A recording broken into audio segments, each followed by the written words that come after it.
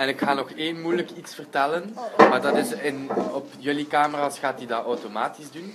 Dat is de witbalans. Dat? Wie heeft er daar al iemand al van gehoord? Ik denk dat dat licht is, niet?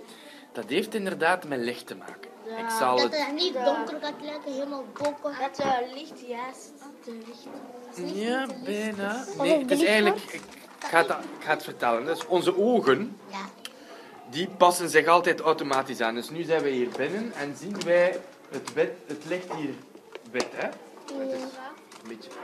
En als wij naar buiten gaan, dan passen onze ogen zich aan aan het andere licht. Je kan het vergelijken als je van een heel donkere kamer in een lichte kamer komt, dan zie je plots niets Van meer. je Hè? slaapkamer naar een Ja, hè? licht dan plots doe je, doe- is je iris die inderdaad dicht gaat, want die, oh, die zegt van, oh, waar ben ik nu? Je? En die past zich dan langzaam terug aan. Hè? En dan zie je plots weer, ah, ik zie alles weer normaal.